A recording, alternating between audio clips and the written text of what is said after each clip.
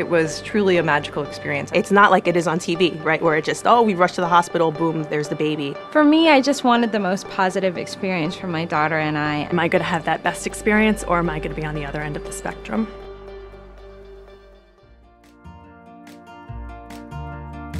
Because of my morphine allergy, I knew that if I needed to use an, an intervention, I would have to almost go to a C-section. And I really didn't want to wake up and, and all of a sudden just have a child in my arms. The doula and I were working as a team to um, put pressure in certain places on Sherrington's body where it would help relieve the pain. I got out of the tub, they put me on the bed and I pushed less than five times and I was able to bring forth my daughter. They allowed me to pull her out of me and put her onto my chest and so it was just an amazing completion. After looking at things, I really felt like a natural childbirth would be the way to go. Um, so I wanted to birth in a birthing center. It was it was a really beautiful experience just to kind of labor freely. It really made me feel, I think, every step of the way that my midwife believed in my body. The pushing stage was really difficult for me, but when they handed her to me, I felt like both of us, both she and I, just took a huge sigh of, of relief because it was such work to get to the point that we were at.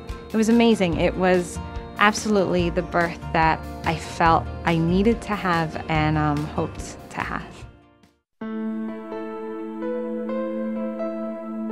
They put me on the machine and they saw, oh, you know, you're having contractions pretty steady. You know, we can, you know, we can induce you. It's up to you, kind of thing. I kept being offered an epidural and I kept reminding them, no, I don't want that. When they put me on the on the EFM, just for you know a short interval to get the the strip of how the baby was doing, his heart rate had dropped significantly. We were going to do what we needed to do to keep our son healthy, suggesting some alternatives that were very helpful in the end in achieving the birth that we had envisioned for our son. I was able to dilate uh, at least four centimeters in half an hour and push him out in three pushes. Um, and I think that's all thanks to my doctor having an open mind. I was experiencing preterm labor contractions, so I was contracting a lot from the, the very beginning, like every two to three minutes. And so I said, okay, now this it must be it. And I, of course, I was one centimeter. I was very, very upset. When the anesthesiologist placed the epidurals, I continued to have the pain. So they had to give me extra medication. And so I really wasn't able to feel anything from the, the waist down. I knew how to push, and but I, I just didn't like that someone had to truly guide me on, on pushing. I spent a lot of time in the bath when I went into labor. And when I went to the hospital, they didn't have a bath there, but they had a shower. And um, I went in there. And these aren't things that I would have thought would have helped me. But um, it ended up being extremely helpful and completely eliminated the pain. The doctor who was on call he came in, he made me feel like I was on a timetable. Like the clock was ticking and it was time to get the baby out and move on. I think in having the episiotomy, it would have been better if we had made the decision together. I remembered he brought in the table with everything on it and just started cutting. I wanted to know more. I wanted to say, like, you know, what's the issue? Is there something I could do differently? And he would just say, hold your breath.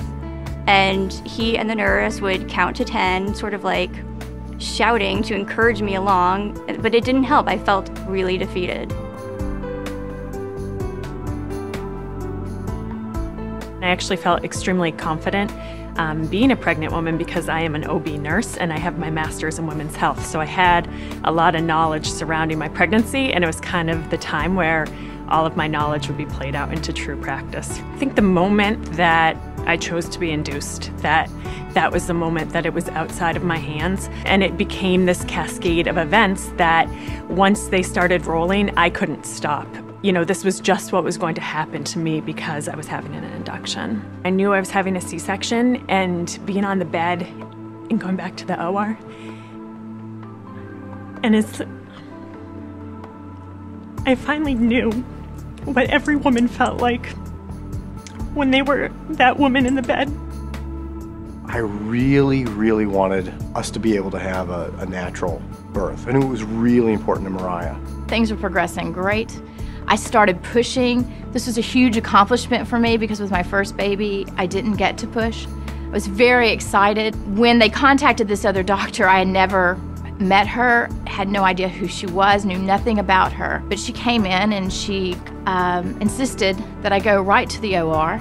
I asked her if she could give me reasons why I was in danger. If she could tell me if my baby was at risk right now, if I was at risk, what was what was the concern that she had, and she had no answers for me. It was all about getting it over with and getting it done and getting it done as quickly, quietly, and as neatly as possible.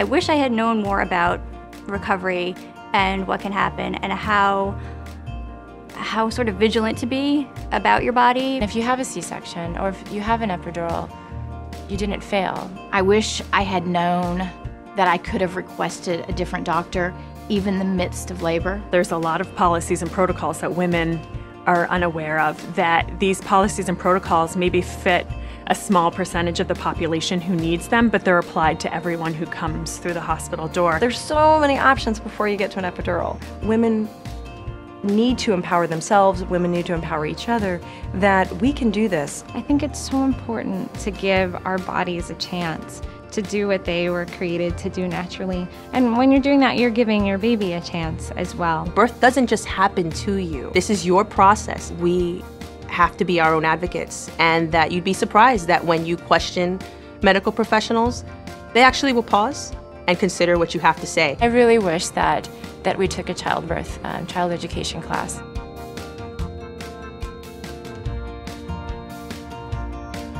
Childbirth education would provide me with the tools needed to believe that I could do this and empower myself and my husband to become our own advocates. It was an opportunity for my husband and I to talk through the what ifs. He knew what plan B was, what plan C was, and could actively advocate for me. Overall, it really helped us grow stronger as a couple, which was really important for, I think, overcoming the challenges, you know, that we experienced during childbirth and then definitely afterwards in parenthood.